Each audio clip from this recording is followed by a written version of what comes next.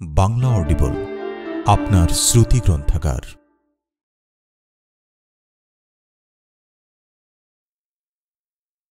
আবু ইব্রাহিমের মৃত্যুর পর এ গল্পের শুরু। রাজধানী ঢাকা থেকে মৃতদেহ নেওয়া হল গ্রামে। গল্পে বেরিয়ে এসেছে তার জীবন, সংসার, চাকরি জীবনে টানা পড়েন, এমনকি তার প্রেমের কথাও। মৃত্যু আমাদের জীবনেও অনিবার্য, যা নিয়ে প্রাচীন চীনা সাহিত্যিক বলেন, মৃত্যুর তাৎপর্য হবে থাই পাহাড়ের চেয়েও ভারী বা বেলেহাঁসের পালকের চেয়েও হালকা। শুনুন, কথা সাহিত্যিক শহীদুল জহিরের উপন্যাস, আবু ইব্রাহিমের মৃত্যু। আমন্ত্রণ প্রথম পর্বে।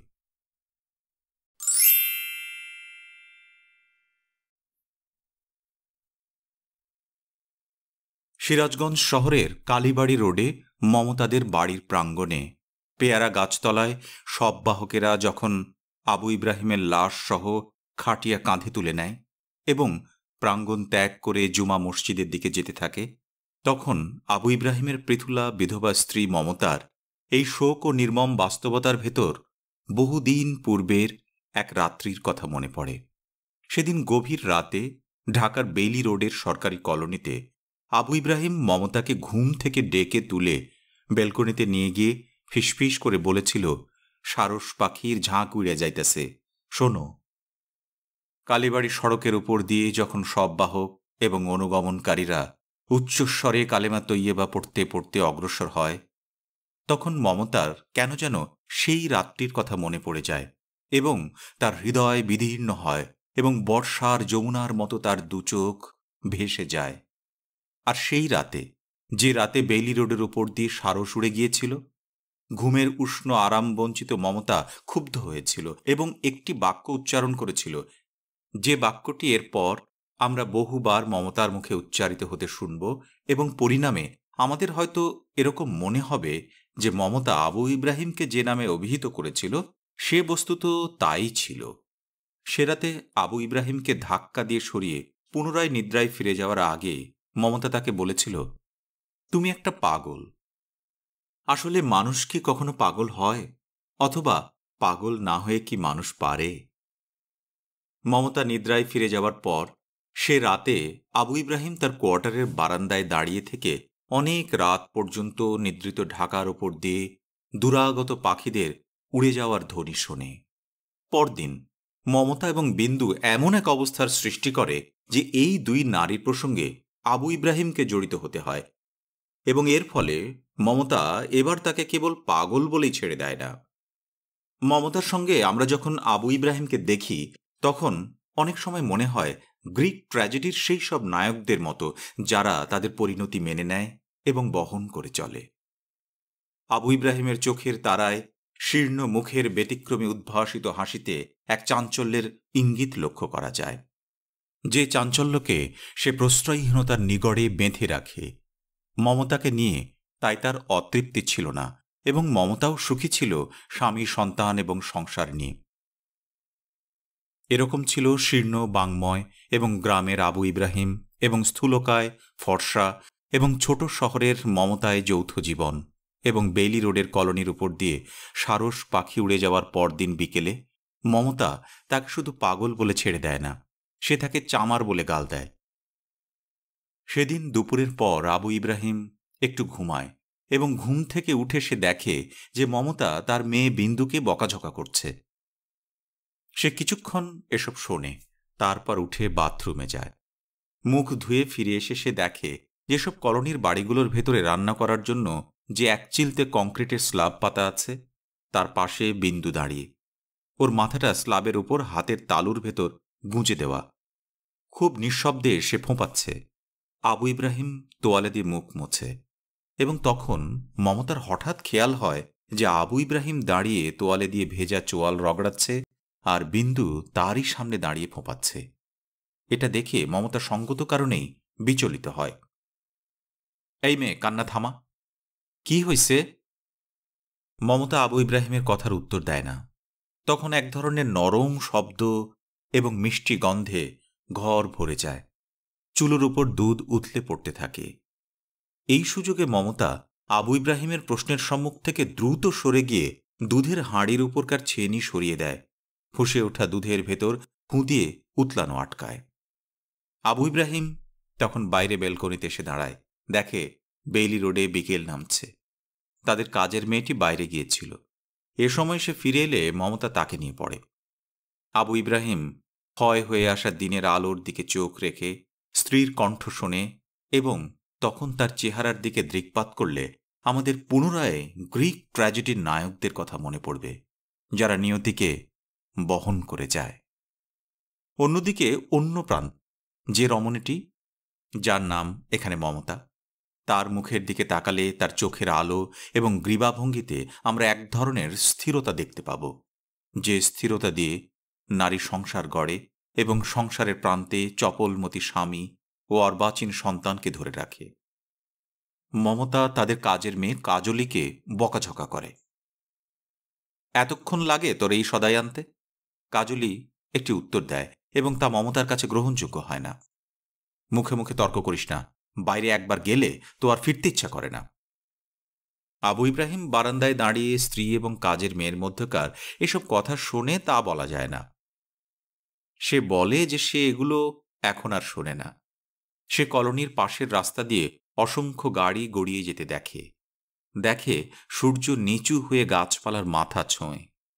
তখন সে আবার পোড়া দুধের গন্ধ পায় এবং ধাতব একটি পতনের শব্দ শোনে। এবার মমতা বেইলি রোডের এই অসম্ভব ছোট বাসাগুলোর উপর চটে। তারপর এই অল্প এবং সংকীর্ণ জায়গায় দাঁড়িয়ে থাকা বিন্দুর উপর তার এই রাগ স্থানান্তরিত হয়। মেয়েটা এই চিপার ভিতর দাঁড়ায় ঢং শুরু করছে। এই মেয়ে, বিন্দু?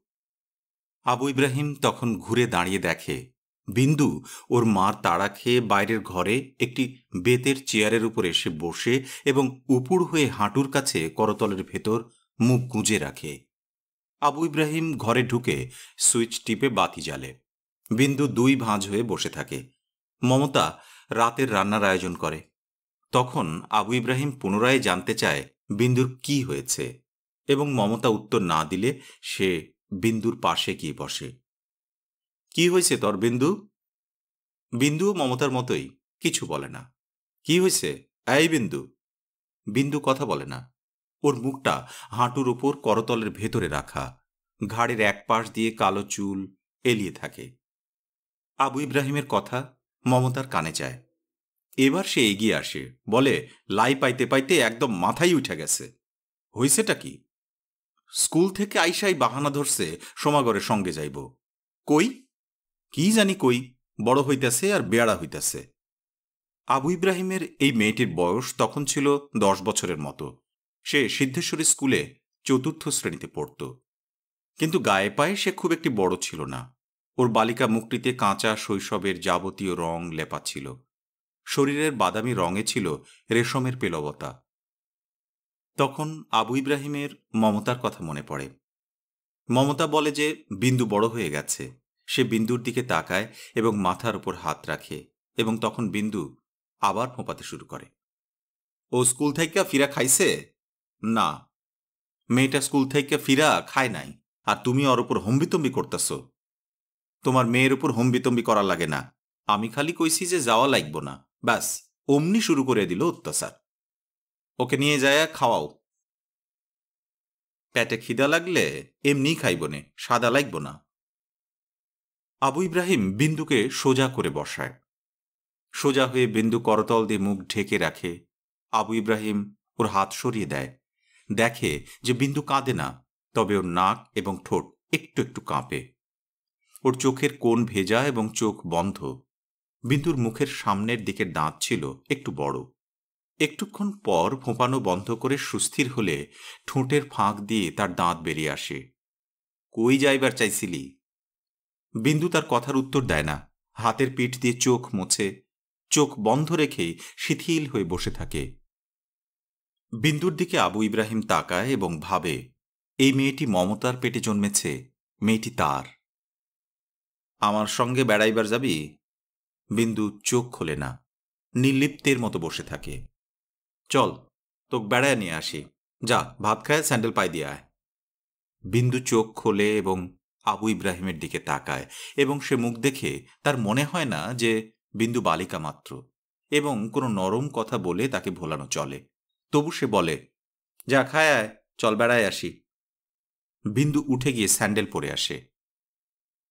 খাইলি না? না খাইলে যামু না। বিন্দু চুপ করে দাঁড়িয়ে থাকে। কিরে? বিন্দুর চেহারায় তখন নির্লিপ্ততার গাম্ভীর্য পুনরায় ফিরে এলে আবু ইব্রাহিম বিন্দুর কাছেও হার মেনে নেয়। সে প্যান্ট, শার্ট পরে বিন্দুকে নিয়ে বের হয়। তারা প্রথমে শাহবাগ গিয়ে বসে। সেখানে সে বিন্দুকে আইসক্রিম কিনে দেয়। বিন্দু কোন আইসক্রিমের শেষ অংশটুকু মুখে পুরে দিয়ে ফ্রকে হাত মুছে ফেলে। জামায় হাত মুছিস কেন? জামা ময়লা হয় না? মনে হয় যেন বিন্দু তার কথা শোনে নাই। সে বলে, ফাইন লাগে। ফাইন লাগে কি? ফাইন মানে ভালো। শারমিন সব সময় বলে, ফাইন। শারমিনের আব্বাও বলে, ফাইন। শারমিনকে? আমার বান্ধবী। ওর আব্বাকে তুই কই দেখলি? ওদের বাসায়। আমাদের স্কুলের পাশেই তো ওদের বাসা। শারমিনের আব্বাকে খুব ভালো লাগে তোর? না, পচা। যদি কয়, এই খুকু, তুমি আমাদের বাসায় থেকে যাও। তোমাকে অনেক আইসক্রিম কিনে দেব, সুন্দর জামা দেব। তুই থাকবি না না। কেন? শুভ কানবে না? শুভ যদি না কান্দে? না, আমার আব্বু আম্মু আছে না? তোর আব্বু আছে নাকি? বিন্দু তখন হাসে এবং বলে হুঁ আছে। আর একটা আইসক্রিম খাবি? বিন্দু হাসে। দ্বিতীয় আইসক্রিমটা সে দ্রুত শেষ করে। আর একটা খাবি? বিন্দুকে দ্বিধান্বিত দেখায়। আবু ইব্রাহিম বলে, কিরে, খাবি আর একটা? হুম। মায়ের খাবি, মায়ের।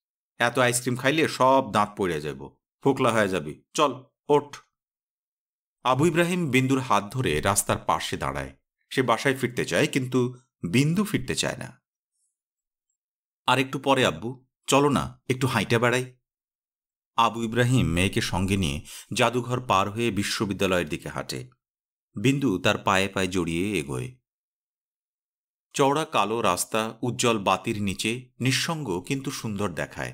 এর খোলামেলা ভাব এবং সরলরৈখিক প্রবাহ আবু ইব্রাহিমের ভালো লাগে। পাবলিক লাইব্রেরি এবং আর্ট কলেজ পার হয়ে তারা বিশ্ববিদ্যালয় মসজিদের গেটের কাছে এসে থামে। আবু ইব্রাহিম তাকায় এবং দেখে ভেতরটা ছায়া ছায়া অন্ধকার। তার মনে হয়, এই সেই পথ, এই সেই প্রাঙ্গণ। মসজিদের দক্ষিণ পাশের ঝাঁকড়া আম গাছটি নিকশ কালো দত্তের মতো দাঁড়িয়ে আছে। সেদিকে তাকিয়ে তারা অচৈতন্যের ভেতর থেকে চেতনা মর্মরিত হয় এবং তার মনে পড়ে যায় যে এইখানে সে একদা হারিয়েছিল এবং এখান থেকেই নিজেকে খুঁজে নেওয়ার চেষ্টা করেছিল একদা। এই কালো এবং অন্ধকার জড়িয়েছিল সে। তারপর কত বছর পার হয়ে গেছে। কতদিন হৃদয়ের কাজটিতে সে আসেনি। এখন সে ঢাকাতেই থাকে, তবু যেন কত দূরে থাকে এবং এই এলাকায় তার আশা হয় না। এখন সে ক্রমাগত নিজেকে হারায় মনে হয় যেন মৃত্যুর দিনটি পর্যন্ত তার এই হারানোর পালা চলে। বিন্দু তার গায়ের সঙ্গে লেপটে দাঁড়ায় এবং বলে, চলো আব্বু, ফিরা যাই। কিন্তু এবার আবু ইব্রাহিম বিন্দুর কথা শোনে না। সে বিন্দুকে নিয়ে বিশ্ববিদ্যালয় লাইব্রেরির সামনে আসে এবং দেখে সব কিছুই প্রায় বদলে গেছে। জামরুল, আর লিচু গাছ নেই, চারদিকে সব নতুন দালান। এখানে অনেক কিছুই তার অচেনা। তবু তার মনে হয় যেন এখানে সে অপরিচিত নয়। লাইব্রেরির এই বারান্দা, মধুর ভুতুড়ে ক্যান্টিন, কলাভবন, সবখানেই তার পায়ের চিহ্ন আছে। এই পথ, মাটি, ঘাসের বুকে তার স্মৃতির ধুলো আছে এবং এখানে লাইব্রেরির পেছনের চত্বরে পাম গাছের কাছে ঘাসের উপর দীর্ঘশ্বাসের মতো বাতাস বয়ে যায়। বিন্দুর ভালো লাগছে না বুঝতে পেরে সে লাইব্রেরির লম্বা বারান্দার দক্ষিণের প্রান্তে বিন্দুকে হাতের ভেতর নিয়ে দাঁড়ায়। যেন সে ভাবে যে কাঁধের উপর হাতের ছোঁয়া পেলে তার এই ভালো লাগার রহস্য বিন্দুর কাছে প্রকাশিত হবে। কিরে, বিন্দু? হুম, হয়রান হয়ে গেছিস? চলো না, চইলা যাই। বসবে এইখানে? না, চলো, চইলা যাই। আবু ইব্রাহিম বারান্দার প্রান্তে পা নামিয়ে বসে। তার কন্যাটি তার দু হাঁটুর মাঝখানে দাঁড়িয়ে থাকে।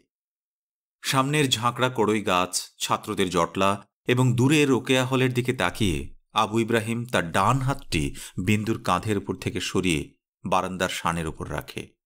তার করতল পাথরের ভালোবাসা স্পর্শ করে। এইটা কি জানিস? হুম? জানিস এইটা কি? কোনটা? এইটা ইউনিভার্সিটি। বিন্দুকে তখন সে পাশে বসায়। এইটা সব থাইকা বড় স্কুল। এইখানে কারা পড়ে?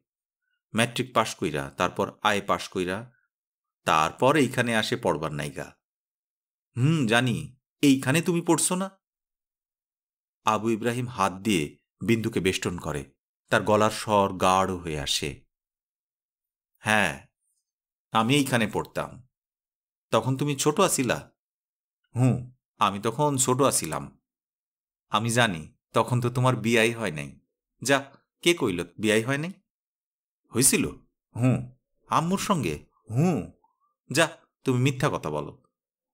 বিন্দুর সঙ্গে সে আর পেরে ওঠে না এবং সে পুনরায় হারে। তারপর তারা দক্ষিণের গেট দিয়ে বের হয়ে রিকশায় চেপে বাসায় ফিরে আসে। তখন মমতা শুভকে পড়াচ্ছিল। বিন্দু গিয়ে তাদের সামনে বসে এবং তার আলুর চপ ও দুটো আইসক্রিম খাওয়ার কথা ঘোষণা করে। বিন্দুর কথা শুনে শুভ প্রথমে গ্রাহ্য করতে চায় না।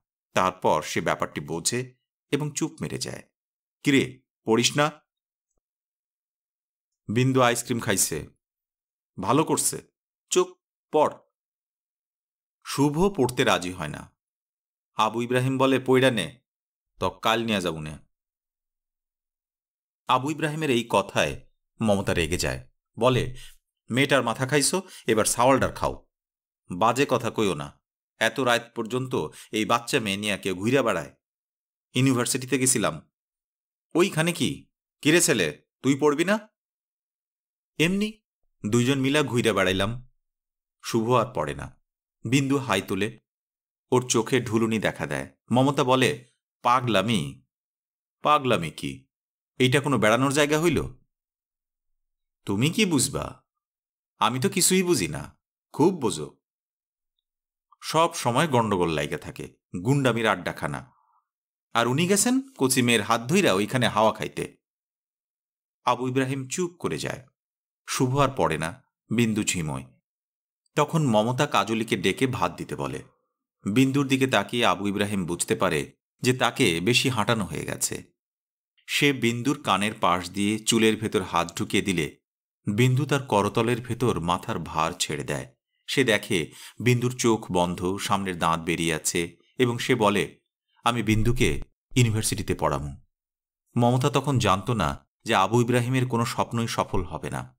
তার সব কথায় অর্থহীন থেকে যাবে, কারণ মৃত্যু বড় দ্রুত এসে তাকে স্বপ্নচারিতা থেকে অপসারিত করবে।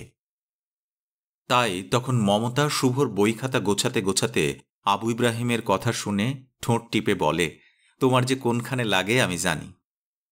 এরপর সে রাতে আবু ইব্রাহিমের সঙ্গে মমতার ভালো মতো একটি বচসা হয়। আবু ইব্রাহিমের মৃত্যুর পরে প্রায় দু বছর প্রতিটি দিন মমতার অতীতের এই সব দিনের কথা মনে পড়তে থাকে। সেদিন রাতে ঝগড়ার পর মমতা প্রচুর কাঁদে এবং আবু ইব্রাহিম কাজলি খাবার দিলে খেয়ে শুভকে নিয়ে ভেতরের ঘরে শুয়ে পড়ে। মমতা না খেয়ে জেগে থাকে এবং তার সঙ্গে জেগে থাকে বিন্দু। আবু ইব্রাহিম যখন তন্দ্রাচ্ছন্ন হয়, তখন তার মনে হয় যেন ঘুমের ভেতর সে কার কণ্ঠ শুনছে। এবং তারপর সে বুঝতে পারে যে সে ঘুমায়নি এবং সে যার কণ্ঠ শুনতে পাচ্ছে, সে হচ্ছে বিন্দু। সেই রাতে আবু ইব্রাহিম তন্দ্রাচ্ছন্ন অবস্থায় মা এবং মেয়ের মধ্যেকার রহস্যময় এবং সম্পর্কের বিষয়ে অবহিত হয়। সে বিষয়ে বাইরে থেকে পুরুষ কিছুই বুঝতে পারে না। সে শুনতে পায়, পাশের ঘরে বিন্দু আম্মু আম্মু করে মমতাকে সাধে এবং সে রাতে তখন পাশের ঘরে মমতা আর বিন্দুকে রেখে আবু ইব্রাহিম শুভকে নিয়ে ঘুমিয়ে পড়ে।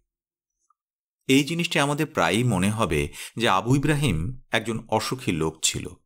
কিন্তু অন্য কখনো তাকে যখন আমরা উদ্ভাসিত হাসি অথবা পত্নী প্রণয়ের ভেতর দেখব, তখন আমাদের হয়তো মনে হবে যে আমাদের সিদ্ধান্ত হয়তো শেষ সত্য নয়।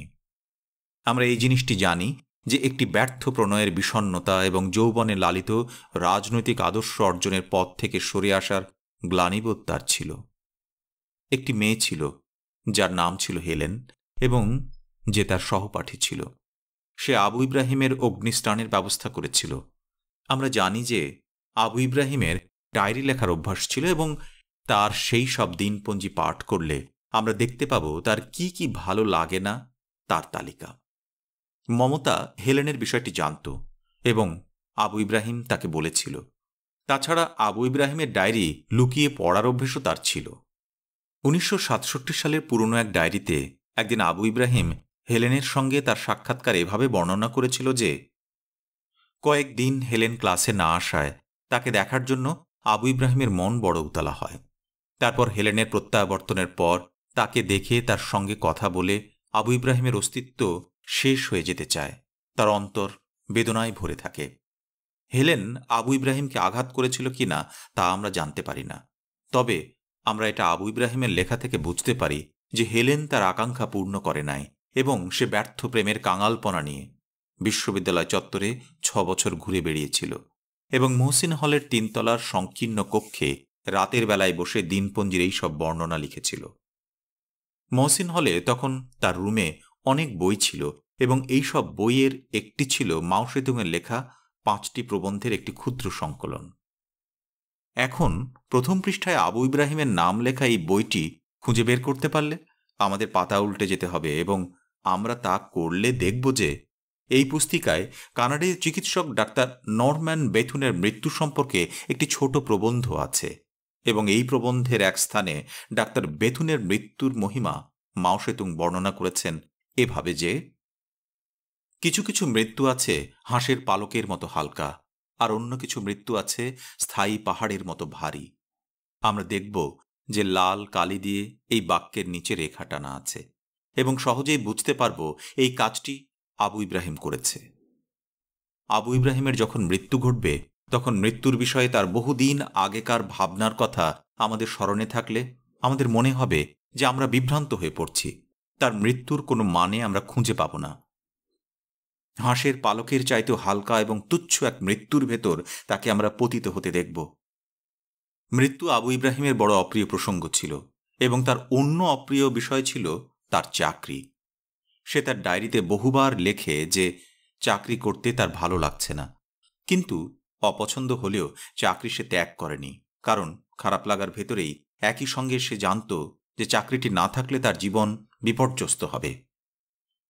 এই সময় সচিবালয়ে এগারো বছর চাকরি করার পর তার পুনরায় মনে হয় যে এর কোনো অর্থ হল না। সে নিজেকে অপচয়িত দেখতে পায়। তখন সে দুপুর বেলা তার ঘনিষ্ঠতম সহকর্মী সিদ্দিক হোসেনকে ফোন করে গল্প করে। কি খবর? এই, ব্যস্ততা গেল? সামারি তৈরি শেষ হইছে? এইমাত্র টাইপ করতে দিলাম। চলো ঘুরে আসি। সিদ্দিক হোসেন তখন অর্থ বিভাগে কাজ করত। আবু ইব্রাহিম তার শাখা সহকারীকে সে কোথায় যাচ্ছে বলে বেরিয়ে যায়। সিদ্দিক হোসেনের রুমে বসে তারা প্রত্যেক দিনের মতো তাদের সিনিয়র অফিসারদের নিয়ে কথা বলে এবং তাতে প্রশংসাসূচক কিছু থাকে না। তারপর তারা কিছুক্ষণ চুপ হয়ে থাকে এবং সিদ্দিক হোসেনের তিনতলার এই অফিস রুমের জানালা দিয়ে কৃষ্ণচূড়া এবং ইউক্যালিপটাস গাছ আবু ইব্রাহিমের চোখে পড়ে। সারস পাখির ডাক শোনানোর জন্য মধ্যরাতে ঘুম থেকে ডেকে তোলায় মমতা একদা আবু ইব্রাহিমকে পাগল বলেছিল। সিদ্দিক হোসেনের অফিস রুমে এই দিন সিদ্দিক হোসেনও তাকে পাগল বলে। কৃষ্ণচূড়া গাছের লাল ফুলের দিকে তাকিয়ে আবু ইব্রাহিমের নিশ্চয়ই ভালো লাগে, কারণ সে বলে যে, সেক্রেটারিয়েটের ভেতর কৃষ্ণচূড়া গাছ লাগিয়ে ভরে ফেলা উচিত। তার এই কথা শুনে সিদ্দিক হোসেন হাসে এবং সিগারেটের ধোঁয়া ছেড়ে বলে তুমি একটা পাগল। কেন? কারণ তুমি পাগল। সামারি বানাচ্ছ কার জন্য? প্রেসিডেন্ট? ক্যাবিনেট। তোমার শ্বশুর আসছে? হ্যাঁ ঘরে জায়গা নেই। এর মধ্যে কি যে অবস্থা? কবে আসছে? কাইল। কি হয়েছে? প্রোস্টেট গ্র্যান্ড ফুলসে অপারেশন করাইতে হবে। চা খাইবা? না, থাক। সিদ্দিক হোসেন ঘণ্টা বাজিয়ে পিয়নের জন্য অপেক্ষা করে, কিন্তু কেউ আসে না। কেউ নাই। সে বলে, সব ঘুইরা বেড়াইতেছে, ধান্দা করতেছে। আসলেই এত কম কাজ করি আমরা, যে টাকা দেয় বেশি করি। তখন আবু ইব্রাহিম তার পুরনো এবং বহুল ব্যবহৃত বাক্যটি পুনরায় উচ্চারণ করে, এই চাকরি আর ভালো লাগে না। চলো ঘুরে আসি বাইরের থেকে। কোথায়? চলো না। তখন সিদ্দিক হোসেনের টেলিফোন নম্বরে আবু ইব্রাহিমের ফোন আসে।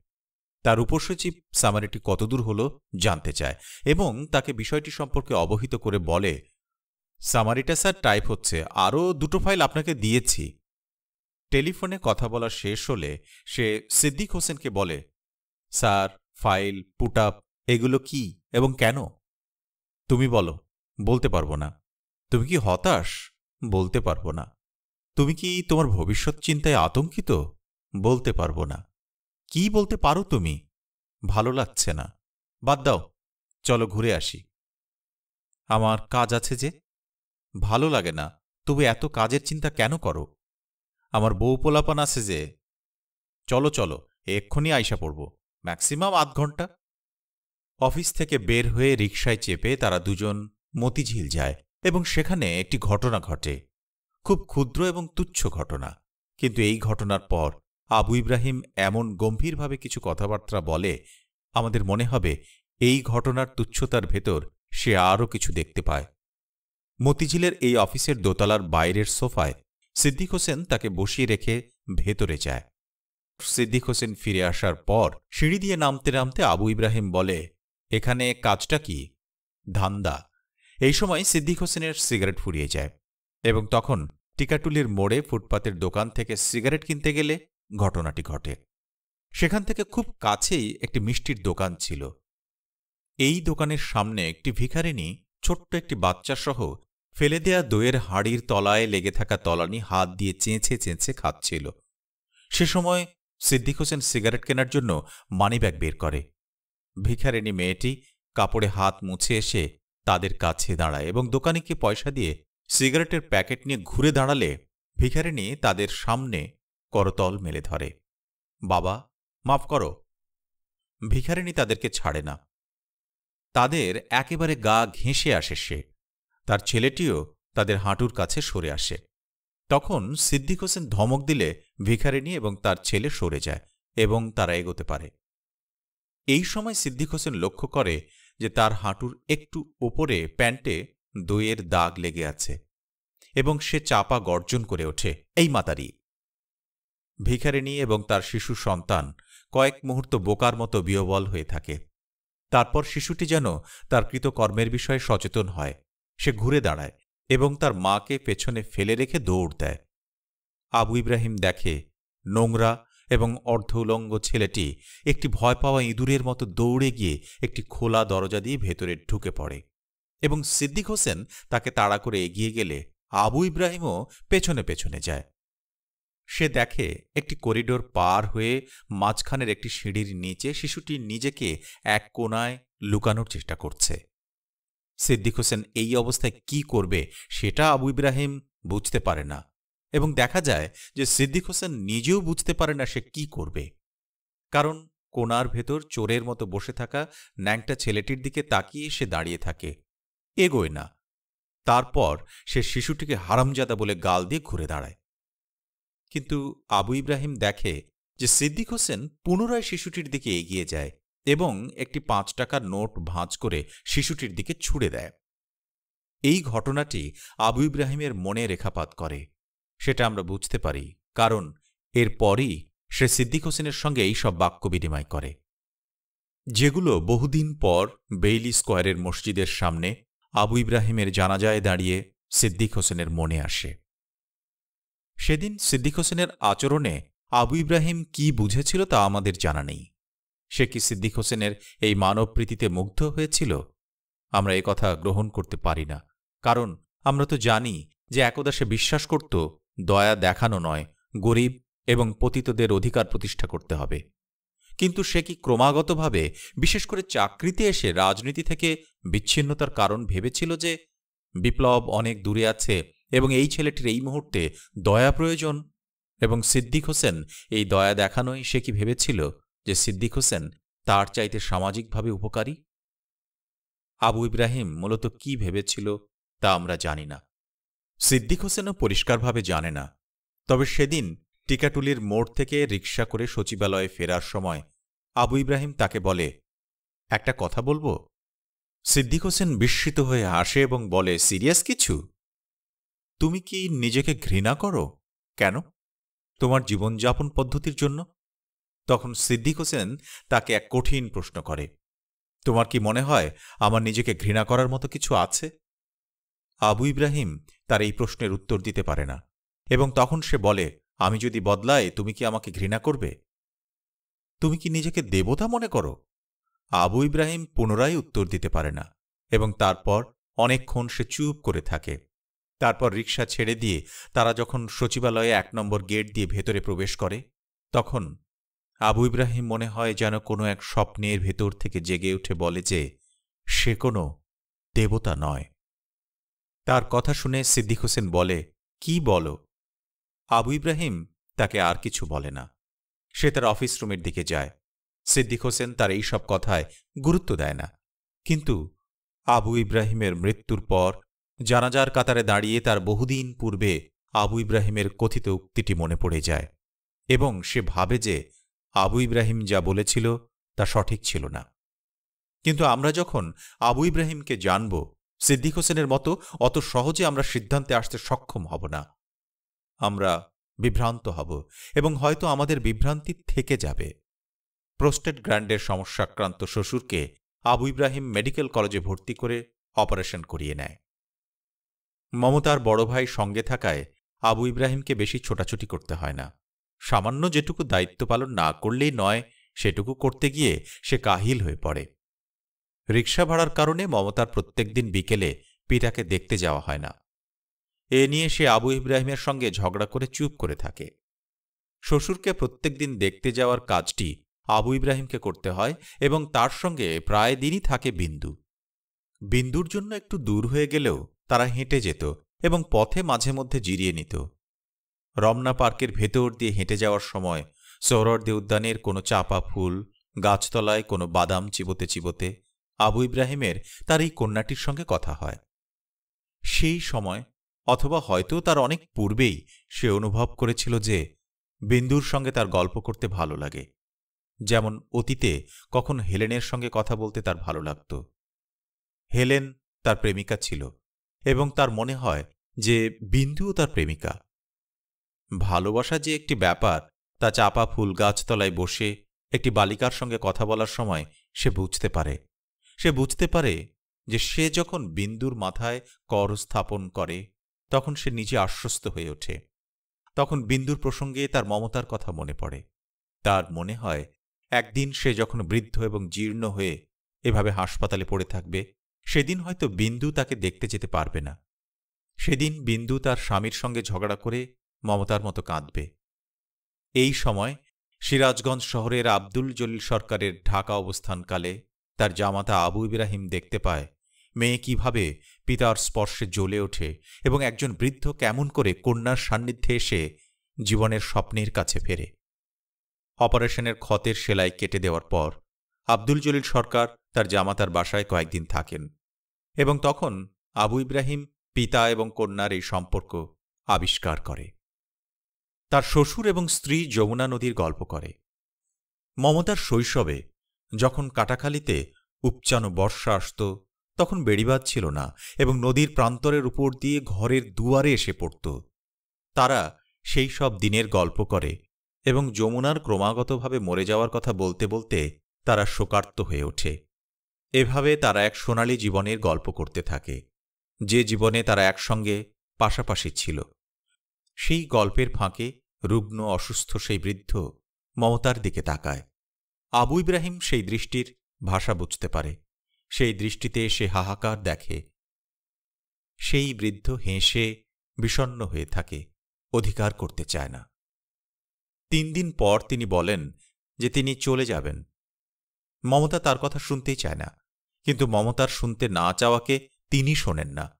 মমতা কাঁদে, তিনি হেসে চলে যান। পরবর্তী হেমন্তের এক বিকেলে কলোনির ছোট ঝুল বারান্দায় দাঁড়িয়ে থাকার সময় আবু ইব্রাহিম পুনরায় সেই রমণীটিকে দেখে, যাকে সে কোনো দিনই আর দেখতে চায়নি। সে দেখে যে কলোনির রাস্তা দিয়ে একজন লোকের সঙ্গে হেলেন হেঁটে যায়। সে দেখে এবং তারপর তার মনে হয়, হেলেনকে সে কতকাল দেখেনি। তখন সে বিন্দুকে পাঠায় হেলেনকে ডেকে আনার জন্য। জিজ্ঞেস করবি, আপনার নাম কি হেলেন? যদি কয় হ্যাঁ তাহলে কবি, আমার আম্মা আপনাকে ডেকেছে। মমতা হেলেনের নাম জানত, কিন্তু বিন্দু ছুটে নেমে গেলে আবু ইব্রাহিম যখন মমতাকে কথাটি বলে, তখন মমতা একেবারে ফাঁকা দৃষ্টিতে তার দিকে তাকায়। এরপর তাদের ভেতরে আর কোনো কথা হয় না। মমতা রান্না নিয়ে ব্যস্ত হয়ে থাকে এবং আবু ইব্রাহিম বাইরের ঘরে বসে প্রতীক্ষা করে। তখন হেলেন এবং তার স্বামীকে নিয়ে বিন্দু এসে দরজায় দাঁড়ায়। বিন্দু বাইরের দরজা থেকে ডাকে, আব্বু! কিন্তু আবু ইব্রাহিম ওঠে না। তখন শেষ মুহূর্তে মমতা এগিয়ে যায়। দরজার কাছে গিয়ে বলে, আপা, আপনার নাম হেলেন, তাই না? তখন আবু ইব্রাহিম দরজার কাছে আসে এবং বলে, হেলেন, ভেতরে আসো। আরে ইব্রাহিম, তুমি? আমি এখান থেকে দেখে তোমাকে চিনতে পেরেছিলাম। সেদিন হেলেন আর তার স্বামী টুকিটাকি কথাবার্তা বলে। মমতার বানানোর নিমক পড়া খেয়ে বিদায় নেয়। তারপর মমতা তার পূর্বের কাজে ফিরে যায় এবং আবু ইব্রাহিম চোখ বুঝে বসে থাকে। আবু ইব্রাহিমের নিকট অতি পুরাতন একটি সত্য পুনরায় প্রকাশিত হয়। তা হল এই যে, হেলেনকে ছাড়া সে মরে যায়নি। তার মনে হয় যে হেলেনের সে প্রেমিক ছিল না পূজারী ছিল এবং হেলেন দেবীদের মতোই পূজারীকে অবহেলা করতে শিখেছিল। সে রাতে বিছানায় শুয়ে মমতা হেলেনের প্রসঙ্গে ফিরে আসে এবং আবু ইব্রাহিমের মনে হয় যে সে জানত এরকম হবে। এরকম ধুম মাইরা রইস কেন? কি করম মমতা তখন হঠাৎ তার বুকের ভেতর এসে পড়ে, তার মাথায় আর চোখে মুখে হাত বুলায়, ঠোঁটে চুম্বন করে, তাকে বেষ্টন করে রাখে। সে রাতে তখন আবু ইব্রাহিম কাত হয়ে মমতার ঠোঁটে ঠোঁট রেখে অবাক হয়, কারণ সে দেখে যে মমতার চোখ ভিজে আছে।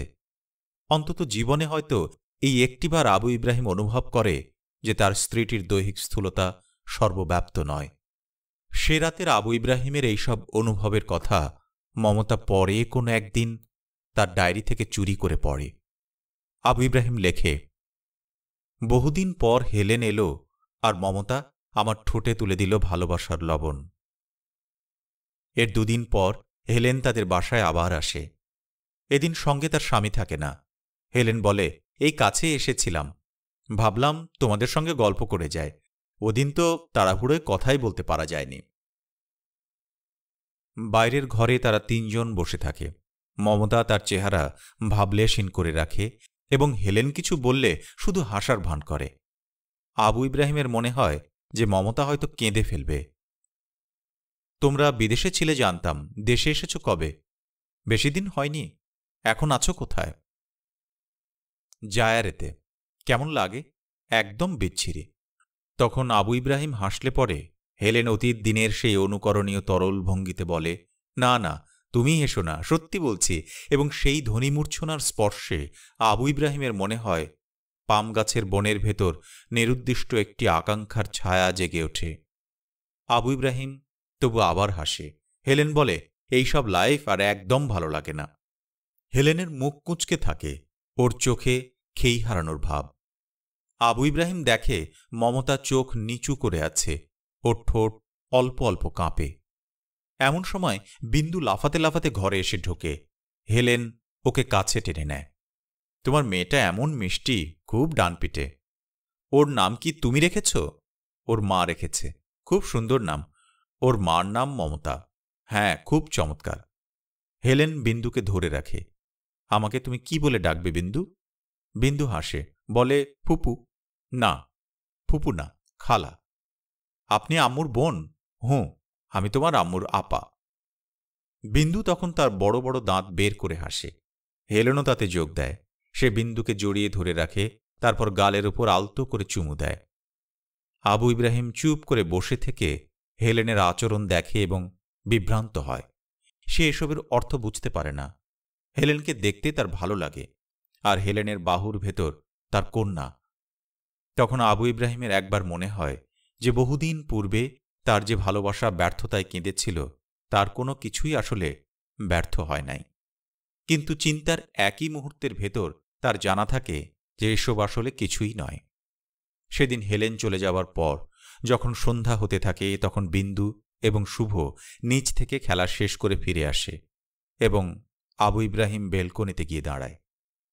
এ সময় বিন্দু হঠাৎ চিৎকার করতে শুরু করে এবং আবু ইব্রাহিম দেখে যে মমতা বিন্দুকে পেটাতে শুরু করেছে। আবু ইব্রাহিম আটকাতে গেলে মমতা প্রথমে খ্যাপে এবং আবু ইব্রাহিম তাকে ধমক লাগালে সে কেঁদে ফেলে। আবু ইব্রাহিম ব্যাপারটা বুঝতে পারে। তার এমন এক অসহায় বিপন্নতা হয় যে সে বিষণ্ন হয়ে পড়ে। তারপর সে বলে, ঠিক আছে, হেলেনের সঙ্গে আবার দেখা হইলে কয়াদিমুনে, যাতে আমাদের এখানে আর না আসে। আমি আসবার মানা করি নাই। খালি আমার মেয়েকে নিয়ে ঢং দেখানো লাগব না। তোমার কাছে আসব, তোমার কাছ থেকে বিদায় হইয়া যাইব। আবু ইব্রাহিমের বিষণ্নতার ভেতর এক ধরনের ক্রোধ হয়, কিন্তু সে কিছু বলতে পারে না। ঘরের ভেতর দেয়ালের কাছে দাঁড়িয়ে বিন্দু ফোঁপায় এবং মমতা গিয়ে রাতের রান্নার আয়োজনে লাগে। সচিবালয়ে আবু ইব্রাহিম এবং সিদ্দিক হোসেনের ভেতর যে বন্ধুত্ব প্রতিষ্ঠিত হয়, সেটা অপরিহার্যরূপে এক চাঞ্চল্য এবং রহস্যময়তার সৃষ্টি করে। কারণ তারা দুজন ছিল ভিন্ন মেরুর মানুষ।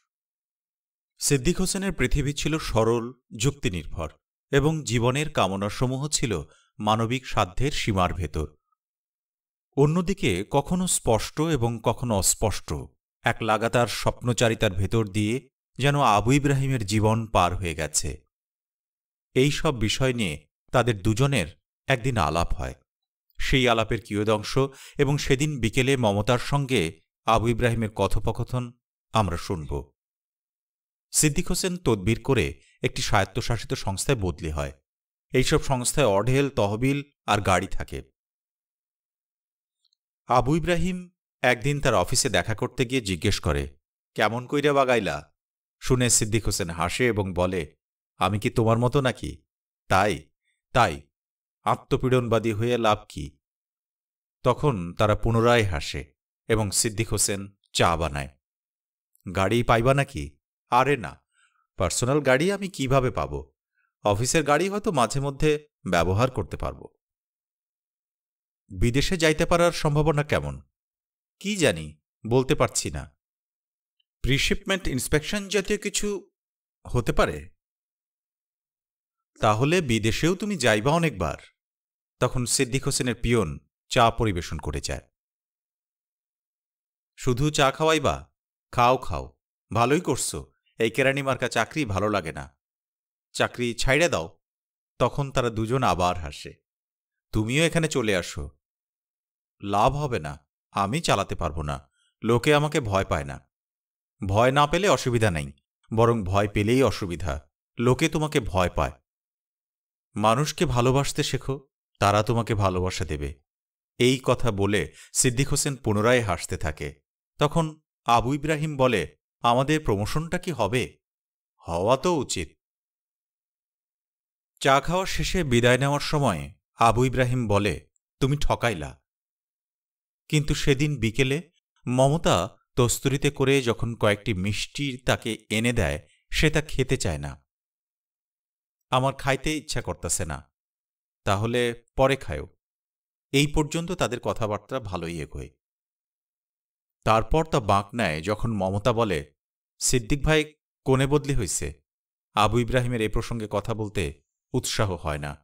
সে শুধু বলে, এই তো এই তো কি? আবু ইব্রাহিম তখন তার মেজাজ হারায়। বলে, কইলেই তুমি বুঝবা নাকি এই কথা শুনে মমতা অপমানে চুপ হয়ে যায় এবং সেটা দেখে আবু ইব্রাহিমের খারাপ লাগে। সে বলে, তুমি খাইছো মিষ্টি? মমতা তার কথার উত্তর দেয় না। তখন সে আবছাভাবে হাসে এবং মমতার শঙ্কিত চোখে সে হাসি দেখে। সে বলে, সিদ্দিক একটা আদেখলা বাসায় মিষ্টি পাঠাইয়া দিছে। তখনও মমতা কথা বলে না এবং তখন আবু ইব্রাহিম পুনরায় বলে, তুমি খাইছো মিষ্টি? মমতা তার দিকে তাকায়, ঢং করো। সিদ্দিক যে কেন এসব করে, ও একটু বেশি কইরা ফালায়। হুঁ, সবাই তো তোমার মতো হইব। ছোট লোক, আর কি? আবু ইব্রাহিম তখন সেদিন একটু ম্লানভাবে হেসেছিল। মমতা হয়তো রসিকতা করেছিল অথবা এটা রসিকতা ছিল না। তবে আবু ইব্রাহিমের মনে হয়েছিল যে মমতার এই কথায় অভিযোগ আছে এবং এই অভিযোগের প্রসঙ্গটি তার জানা। সে তখন উঠে গিয়ে তার জীবনের একমাত্র আনন্দ কলোনির পনেরো বর্গফুট আয়তনের বেলকনিতে দাঁড়ায়। এতক্ষণ পর বিন্দু নিচ থেকে উঠে আসে, সঙ্গে সিদ্দিক হোসেনের ছোট ছেলে কামাল। আম্মু, পানি খাব। বিন্দু পানি খায়। কামাল দাঁড়িয়ে দাঁড়িয়ে বিন্দুর পানি খাওয়া দেখে। গ্লাসের ভেতরকার পানির শেষ ধারাটি গড়িয়ে বিন্দুর মুখের ভেতর চলে যায়। ছেলেটির চোখ চকচক করে। দেখে মনে হয় যেন সে ভাবে যে বিন্দু মধু খায়। বিন্দু হাতের পিঠ দিয়ে মুখ মুছে ফেলার পর কামালের তেষ্টা পায় এবং সে যখন পানি খেতে থাকে, তখন বিন্দু একই রকম আগ্রহ নিয়ে দেখে।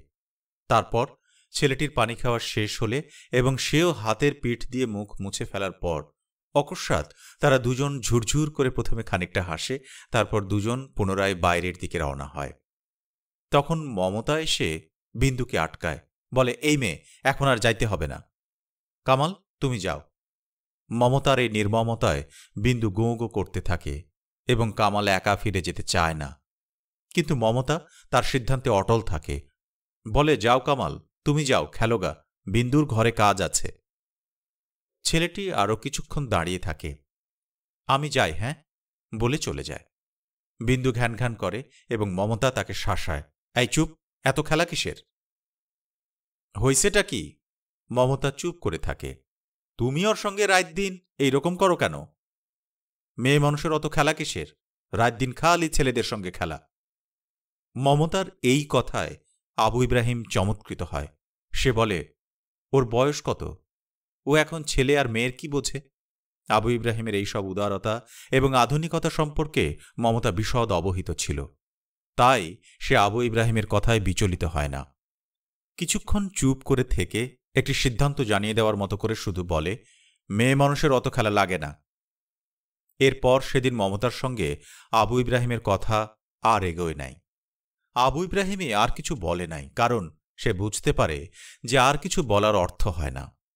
কিন্তু আমাদের জন্য এদিনের সঙ্গেই এই সব ব্যাপার শেষ হয়ে যায় না।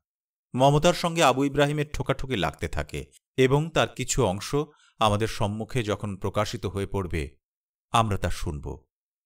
কারণ আমরা একটি লোক, আবু ইব্রাহিমকে জানতে চাই। আবু ইব্রাহিমকে কেন আমাদের জানা প্রয়োজন তা আমরা জানি না। হয়তোবা তাকে জানার কোনো প্রয়োজন নেই, হয়তোবা আছে। তবু তার কথা আমরা জানব এবং শুনব। হয়তোবা শুধুমাত্র এই কারণে যে আমরা একটি কথা সাহিত্যের গ্রন্থ পাঠ করতে চাই এবং তা করলে আমাদের এই গ্রন্থের চরিত্র অথবা চরিত্রসমূহকে জানতে হবে যদিও আমরা জানি যে পাঠ এবং অনুধাবন কখনো কখনো কষ্টসাধ্য বটে। অর্থ বিভাগে আবু ইব্রাহিমের চাকরির মেয়াদ তিন বছর পূর্ণ হয়ে গেলে তাকে বাণিজ্য বিভাগে বদলি করা হয়। এখানে তাকে প্রথমে প্রশাসন শাখার দায়িত্ব দেওয়া হয়। এই শাখায় কাজের চাপ বেশি থাকায় আবু ইব্রাহিমের ঘরে ফিরতে দেরি হতে থাকে। এতে করে মমতার বিরক্তি বাড়ে এবং আমরা ক্রমাগতভাবে তাদের আলাপচারিতা বচসায় নিপতিত হতে দেখি। একদিন কাজলি পচা মাছ কিনে আনলে মমতা সেগুলো ফেলে দিয়ে ডাল আর পটল ভাজি রেঁধে রাখে।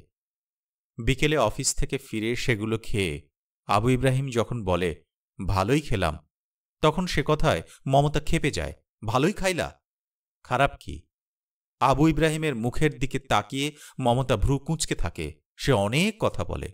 তারপরও মনে হয় যেন তার অনেক কথা বলার থেকে যায়। কাজলি করতে পারে না। আবু ইব্রাহিমের বাজার করা উচিত। শুভ কদিন থেকে খুসখুস করে কাশে।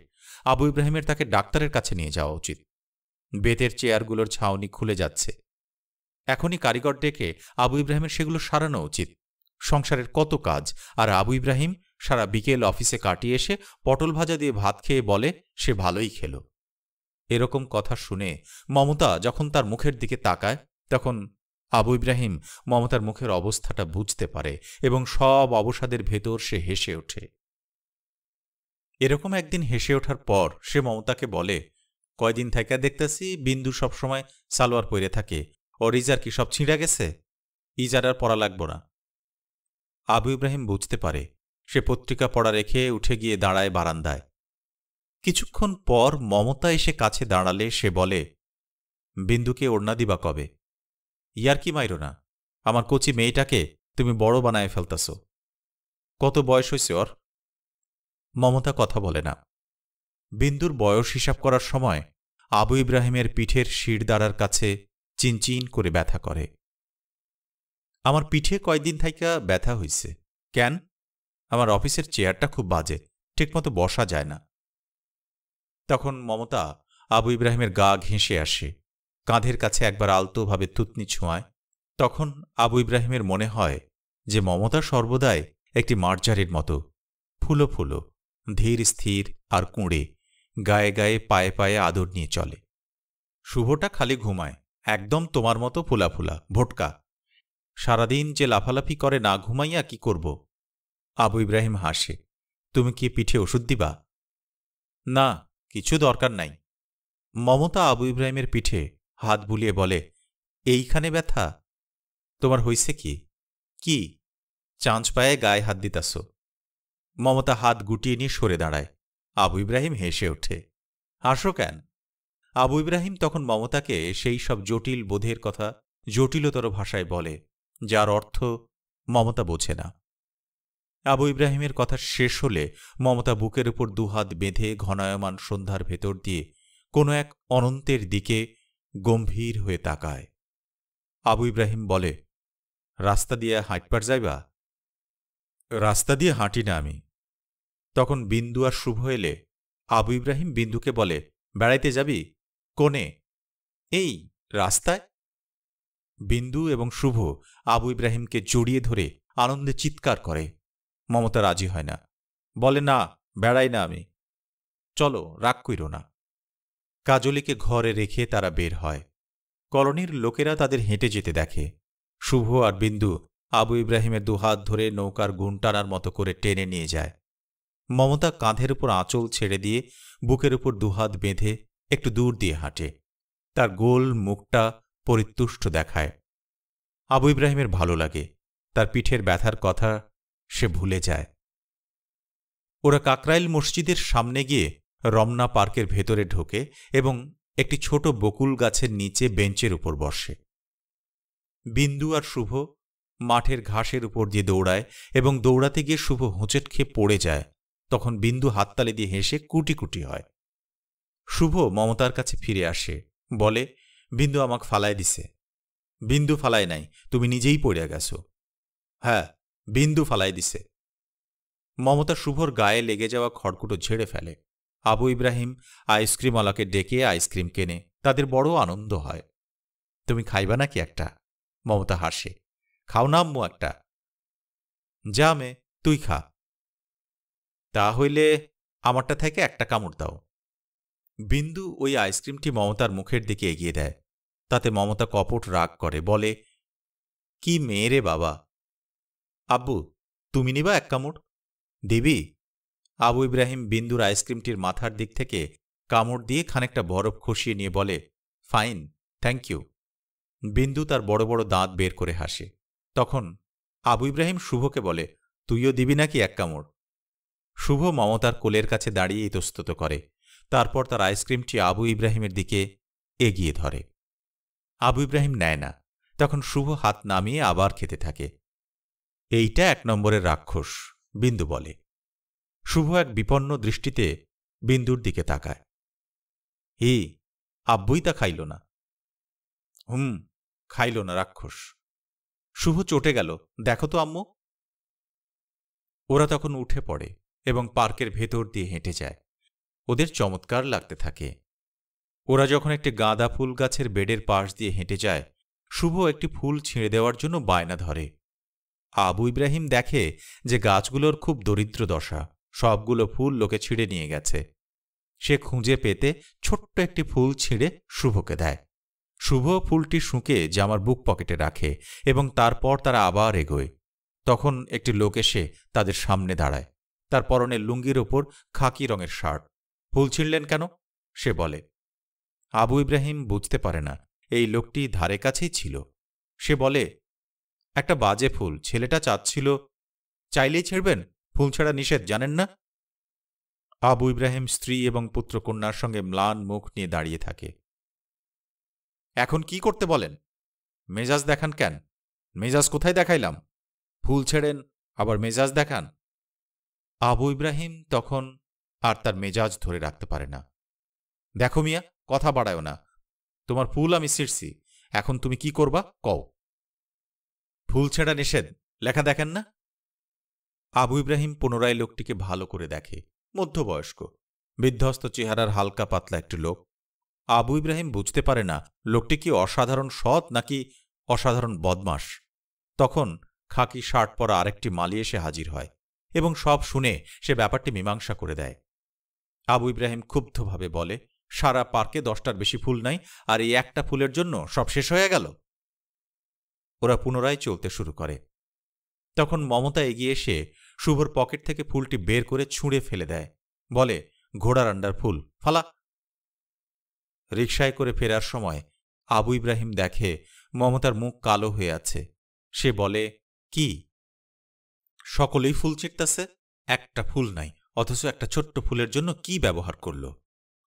আবু ইব্রাহিম রাস্তার দিকে তাকিয়ে থেকে বলে, এইটা কোনো যুক্তি না তবু আরেকটা কথা কইলে লোকটাকে আমি ঘুষি লাগাইতাম। এই সময় হেলেন একদিন আবু ইব্রাহিমকে তার অফিসে ফোন করে। আমি ভাবছিলাম, তুমি হয়তো চলেই গেছ। যাওয়ার সময় প্রায় এসেই গেল। একদম ভালো লাগছে না। সবাই তো বিদেশ যেতে চায়। তা চায় যাওয়ার পর কাঁদে। হেলেন তখন তাকে বলে যে, পরের শুক্রবার তারা চন্দ্রায় ন্যাশনাল পার্কে বেড়াতে যাবে এবং সে আবু ইব্রাহিমকে তাদের সঙ্গে যাওয়ার জন্য আমন্ত্রণ করে। যাবে? ভেবে দেখতে হবে। ভেবে দেখার কিছু নাই। সকাল নটার ভেতর তোমাদের আমরা পিক করব। আমাদের, তুমি, তোমার স্ত্রী এবং অবশ্যই বিন্দু। আমার একটি পুত্রও আছে, শুভ। হ্যাঁ শুভ, সরি। এত লোক নিয়ে নড়বে কি করে? কোনো সমস্যা হবে না? একটা অনেক বড় মাইক্রোবাস নেব আমরা। বনে গিয়ে খাওয়া দাওয়া হবে কি? হতে পারে। আমি কি কন্ট্রিবিউট করতে পারি? না। ঠিক আছে। মমতাকে বলে দেখি। বলো, কিন্তু তোমাদের যেতেই হবে। মমতা শুনে মুখ কালো করে রাখে। বলে, যত সব ঝামেলা। আবু ইব্রাহিম যতটা সম্ভব নির্লিপ্ত থাকার চেষ্টা করে। মমতার কথার প্রতিবাদ করে না। আবার মমতার এই অনিচ্ছাকে প্রশ্রয় দেওয়া থেকেও নিজেকে বিরত রাখে। এভাবে পরবর্তী শুক্রবার এসে পড়ে। কিন্তু সেদিন সকালে উঠে ঝিরঝির করে বৃষ্টি পড়তে দেখে এমনকি মমতারও মন খারাপ হয়ে যায়। তারপর নটার দিকে অসময়ের এই বৃষ্টি থেমে যায় এবং দশটার দিকে হেলেনদের মাইক্রোবাস এগারো নম্বর বিল্ডিংয়ের সামনের চত্বরে এসে দাঁড়ায়। তারপর তারা যখন মিন্টো রোড ধরে সেরাটন হোটেল পার হয়ে ছোটে, তখন তারা আকাশে ঝকঝকে রোদ দেখতে পায়। চন্দ্রা জাতীয় উদ্যানে একটি গজারি ঝোপের পাশে গাড়ি দাঁড় করিয়ে তারা একটি ঘাসে ছাওয়া চত্বরের উপর ছড়িয়ে পড়ে। আবু ইব্রাহিম গুনে দেখে ড্রাইভার সহ মোট চোদ্দ জন। এর ভেতরে ছিল হেলেনের স্বামী, তার দু বন্ধু এবং তাদের স্ত্রী ও সন্তানেরা। সে পরিষ্কার একটি জায়গায় গাছের ছায়ায় ঘাসের উপর গিয়ে বসে। তার পেছনে অন্যরা বসে। তখন এই দলটির পুরুষরা গল্প শুরু করে এবং মহিলারা কোলের কাছে শিশুদের নিয়ে চুপ করে বসে শোনে। তারা পশ্চিমের উন্নত দেশগুলো এবং সেসব দেশে বাঙালির জীবন নিয়ে কথা বলে। দেশ এবং বিদেশের বিস্তারিত তুলনামূলক আলোচনা করে এবং এই সিদ্ধান্তে উপনীত হয় যে বিদেশে গেলে পরেই কেবল দেশের মর্ম বোঝা যায় এবং চেতনায় স্বদেশপ্রেম আবিষ্কৃত হয়। তারপর তারা স্বদেশের রাজনীতির প্রসঙ্গে আসে এবং শেখ মুজিবের হত্যাকাণ্ডের সিআইয়ের ভূমিকার বিষয়ে আলোচনা করে। তারা বলে যে হেনরি কিসেঞ্জার বলেছিল, দুজন লোককে সে অপছন্দ করে। এদের একজন ছিল সালভাদর আলেন্দে এবং অপরজন শেখ মুজিবুর রহমান এবং এদের দুজনকেই নিজ দেশের সেনাবাহিনী হত্যা করে। তারা মরিস লিপশুলসের অসমাপ্ত বিপ্লব নামে ইংরেজিতে লেখা একটি বইয়ের কথা উদ্ধৃত করে বলে যে, ঢাকার মার্কিন দূতাবাস জানত যে শেখ মুজিবকে হত্যা করা হবে।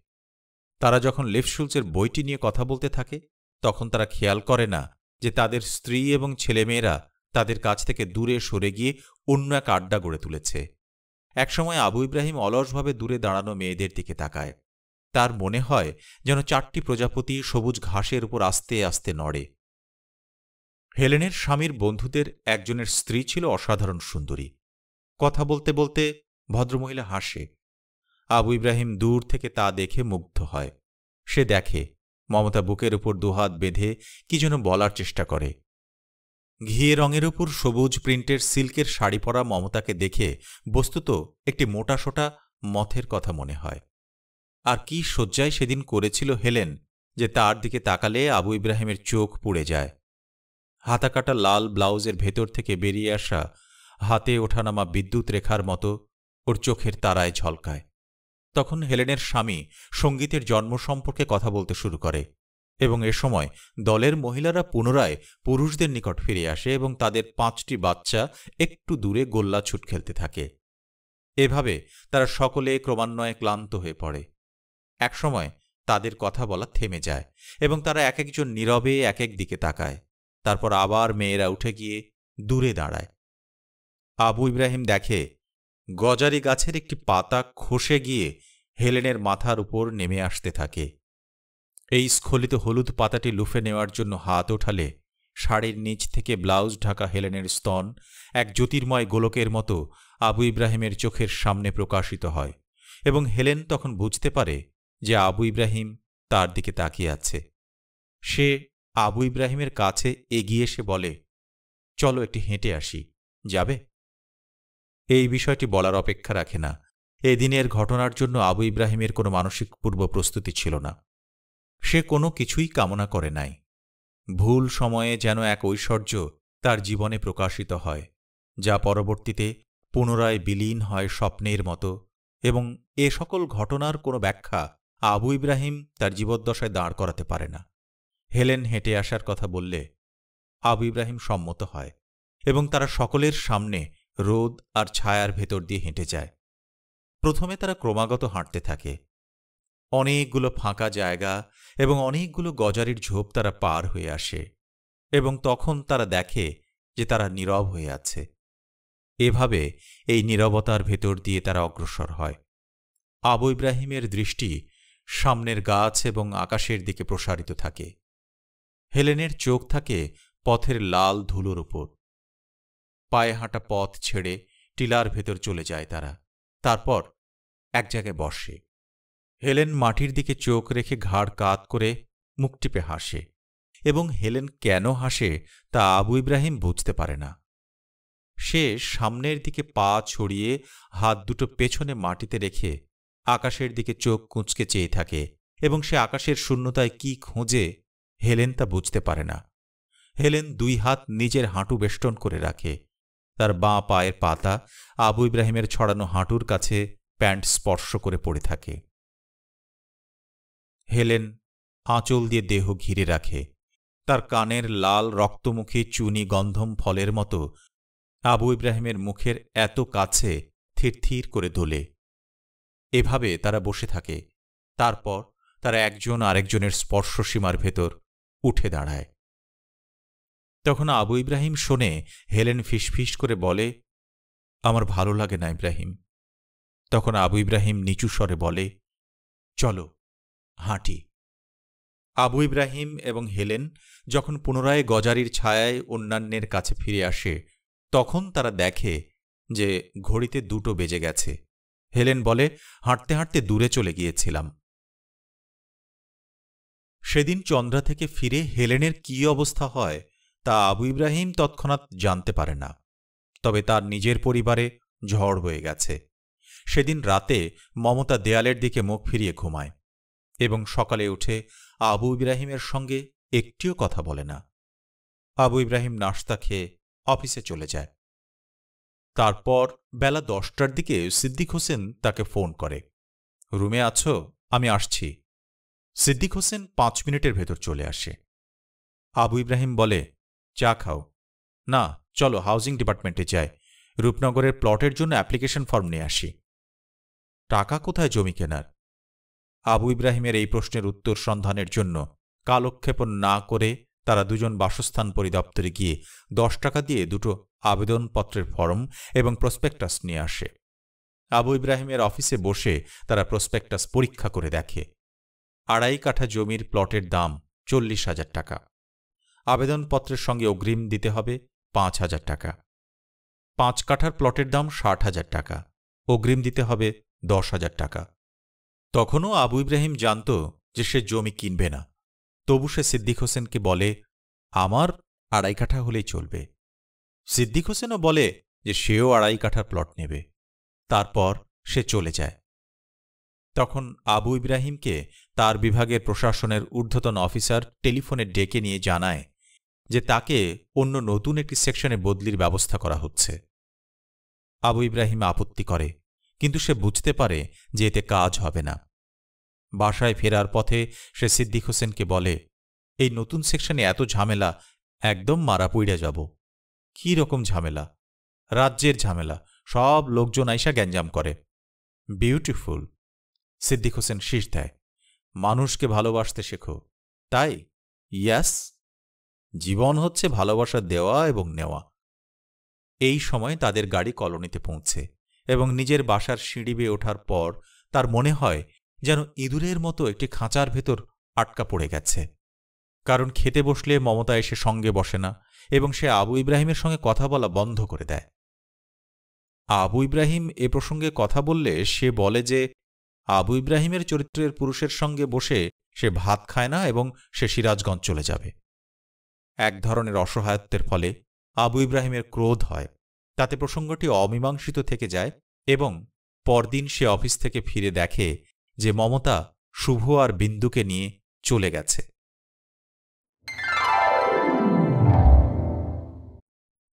শুনলেন কথাসাহিত্যিক শহীদুল জহিরের উপন্যাস আবু ইব্রাহিমের মৃত্যু, প্রথম পর্ব। আমন্ত্রণ পরের পর্বে।